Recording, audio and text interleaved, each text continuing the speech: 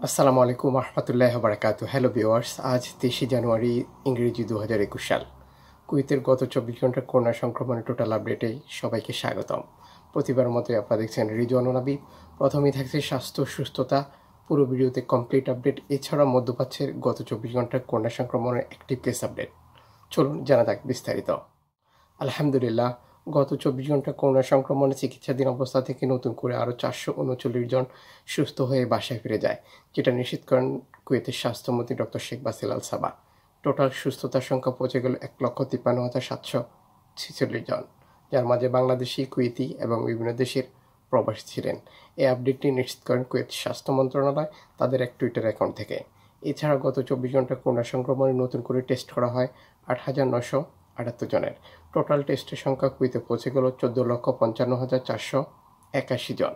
গত চব্বিশ ঘণ্টা করোনা সংক্রমণে টোটাল টেস্ট থেকে নতুন করে আরও পাঁচশো চৌত্রিশ জন আক্রান্ত নিশ্চিত করে কুয়েত স্বাস্থ্য মন্ত্রণালয়।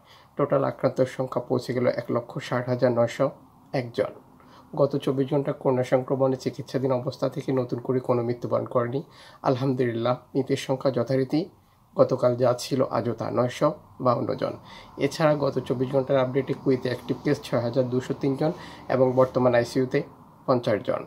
এছাড়া মধ্যপ্রাচ্যের গত চব্বিশ ঘণ্টার অ্যাক্টিভ কেসে কিংডম অফ সৌদি আরাবিয়া দু হাজার একশো সাত জন, বাহারাইন দু হাজার নশো বিয়াল্লিশ জন, কাতার তিন হাজার সাতশো চুরাশি জন, ইউএই সংযুক্ত আরব আমিরাত ছাব্বিশ হাজার দুশো পঁচাত্তর জন এবং ওমান ছয় হাজার দুশো উনচল্লিশ জন। এটা ছিল মধ্যপ্রাচ্য এবং কুয়েতের গত চব্বিশ ঘণ্টার টোটাল করোনা সংক্রমণের বিস্তারিত আপডেট। এছাড়া কুয়েত আবহাওয়া অধিদপ্তর থেকে নিশ্চিত করা হয়েছে যে আরও দু সপ্তাহ কুয়েত ঠান্ডা থাকবে। প্রবাসীদের প্রতি আমাদের সবসময় অনুরোধ থাকে আপনি আপনার অবস্থান থেকে অবশ্যই শীতের কাপড় ব্যবহার করবেন। বিশেষ করে যারা রাতে ডিউটি করেন অথবা সকালে ডিউটিতে যেতে হয়, ইচ্ছে অনিচ্ছে জীবনে তাগিদে আমাদেরকে বাইরে বের হতে হচ্ছে। নিজের সেফটি নিশ্চিত করুন, স্বাস্থ্য সুরক্ষা নিশ্চিত করুন গ্লাভস স্যানিটাইজার মাস্ক এবং সোশ্যাল ডিস্টেন্স মেনটেন করুন। একান্তই প্রয়োজন ছাড়া এখানে সেখানে যাওয়া থেকে বিরত থাকুন, বাসায় থাকুন, নিরাপদ থাকুন।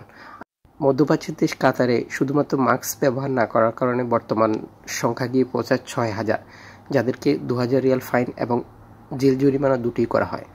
তাই প্রবাসীদের প্রতি আমাদের অনুরোধ থাকবে, আপনি মধ্যপ্রাচ্যের যে দেশেই থাকেন না কেন, সে দেশের আইন মেনে চলুন। বিশেষ করে ডব্লিউএইচওর সর্বশেষ আপডেট অনুযায়ী কথার মাধ্যমেও করোনা সংক্রমণের শনাক্ত বা করোনা সংক্রমণ ছড়ায়। তাই আপনি আপনার অবস্থান থেকে আপনার সেফটি নিশ্চিত করুন, যে দেশে অবস্থান করছেন সে দেশের আইন মেনে চলুন, যাতে করে আপনার সব প্রবার জীবন সুস্থ এবং স্বাভাবিক থাকে।